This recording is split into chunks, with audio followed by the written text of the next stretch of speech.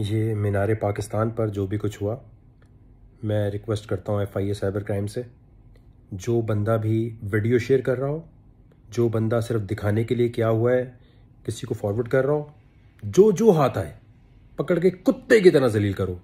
ये video share करने वाले भी उसी तरह शामिल हैं, जिस तरह वो दरिंदे थे। दूसरा, उस लड़की से मेरी खुद बात हुई है व्हाट्सएप पे, और मैंने उसको यही कहा कि आप वीडियो बनाना नहीं रोकेंगी।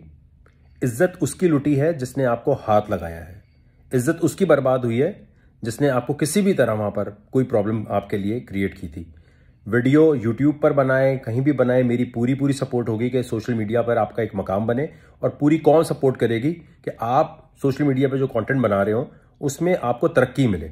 ये रुकना नहीं है, क्योंकि अगर ये वीडियोस बनाना रोक दी, अगर ये रोक दिया गया तो इसका मतलब तो इन बगैरतों की जीत होगी जिन्होंने आपके साथ इस किस्म की हरकत की है।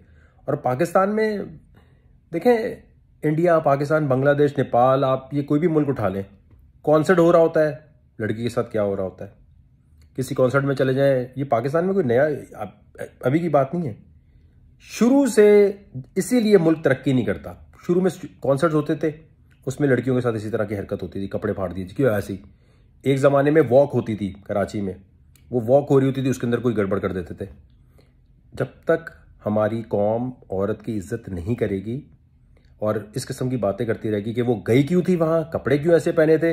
पाकिस्तान तरक्की नहीं कर सकता भाई। गारंटी कभी भी नहीं कर सकता।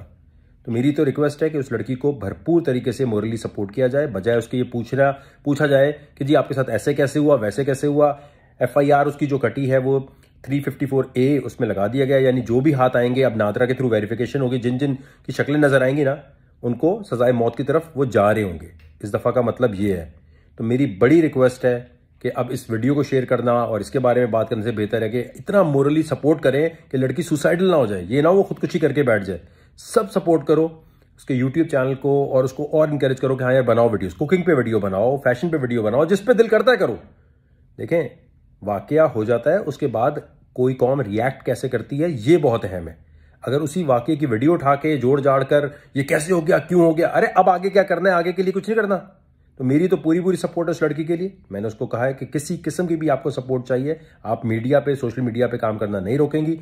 और मेरी बड़ी दरखास्त है कि जो भी पकड़ा जाए, हमारे यहाँ जो जुडिशियल सिस्टम है, उसके लिए पार्लियामेंट थोड़ा सा ये कर दे कि कानून साजी ऐसी हो जाए कि फैसले जरा जल्दी होने लग जाए। ट्रायल जो है वो जरा जल्दी होने लग जाए। ये मेरी रिक्वेस्ट है, बाकी मैं फिर यही कहूँगा। कि इस लड़की को भरपूर तरीके से मोरली सपोर्ट देनी है, बजाय कोई थ्योरी सोचने के, कि ये वहाँ क्यों गई थी, क्या कर रही थी किस लिए गई, खुदा के वास्ते मत सोचना ये बात। इस किस्म की सोच की वजह से पाकिस्तान तरक्की नहीं कर सकता।